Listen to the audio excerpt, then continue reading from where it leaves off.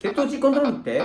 糖尿病の改善しよう。それの一つに血糖値高いと疲れも出やすい体。さてさてどうして改善しよう。それには猪木は絶対必要。食物繊維もよくとってまとめてドカ食いやめとこう。飲みすぎちゃぶちゃぶこれもダメ食事は大きな要素の一つやで気をつけて血糖値コントロールって糖尿病の改善しようそれの一つに血糖値高いと疲れも出やすい体さてさてどうして改善しようそれには猪木は絶対必要食物繊維もよくとってまとめてドカ食いやめとこう飲みすぎちゃぶちゃぶこれもダメ食事は大きな要素の一つで。す気をつけて。